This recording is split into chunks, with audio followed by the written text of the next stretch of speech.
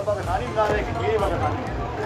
ये है ये मैदे की बनती है घी लगाना पड़ता है एक घंटे के बाद फिर ये छोटे छोटे पेड़े बना के तैयार करते हैं हाँ सौ ग्राम होती है ये पंद्रह रुपये रेट के हिसाब से सौ ग्राम चाय के साथ खा सकता है दाल रोटी के साथ खा सकता है और वो जैसी किताबों के साथ भी खा सकता है इसमें हम जो है घी और ऑयल इस्तेमाल करते हैं और मैदा तीन चीज़ें बस हाँ, हल्की आँच पे पकाना पड़ती है ये जो है दो घंटे पहले गूंदना पड़ता है फिर उसके बाद इसको जो है घी लगाना पड़ता है चादर बना के पेड़ की। छोटे छोटे पेड़ बनाने पड़ते हैं सब सब सब। शादी ब्याह खत्म समाना सब।